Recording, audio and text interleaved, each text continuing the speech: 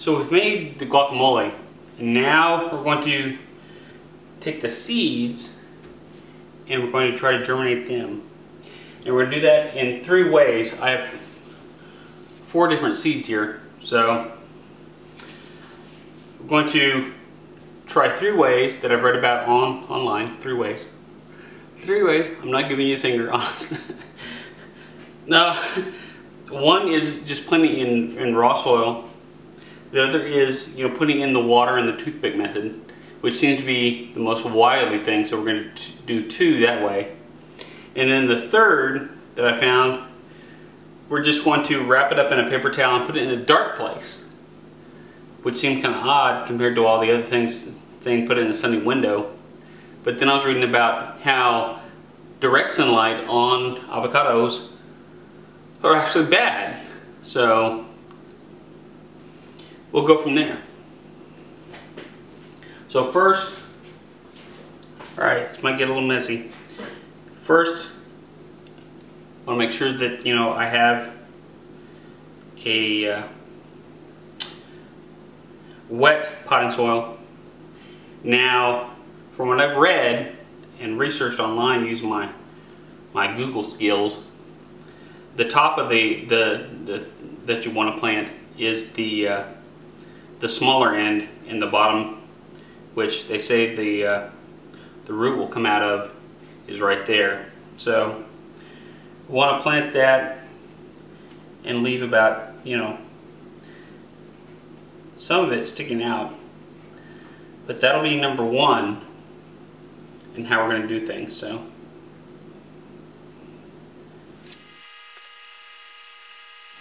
Okay, now that I've wet down the, uh, the counter, I should have done that, the pot last. we're going to do the cup method. Now, instead of using clear cups or glass jars, we're going to use to use two red solo cups.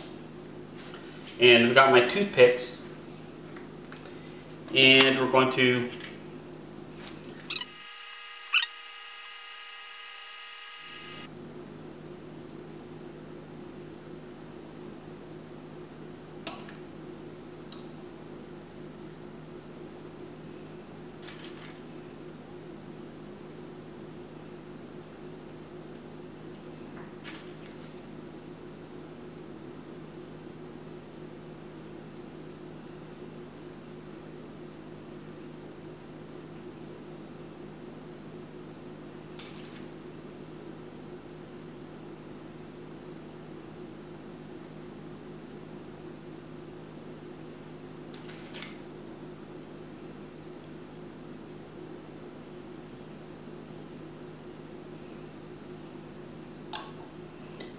and they're supported in the in the cups themselves. So after that,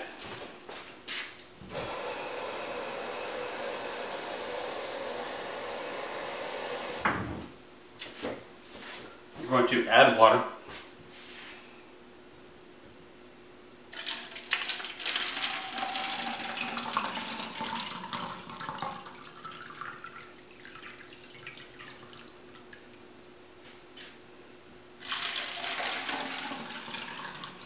And of course I don't have enough, but I want to leave about, you know, half of it in the water and then half it out.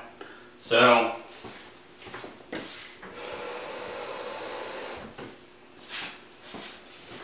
and once again, this is just using my own Google research methods. And they're going to put those in the window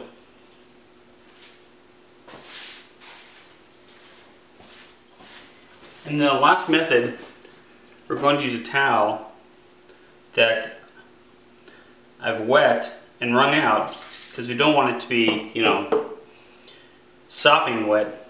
We're going to wrap that up and then we're going to put it in a container and put it in a, a dark place. As I drop everything all over the house. So I'm gonna get a little oblong container.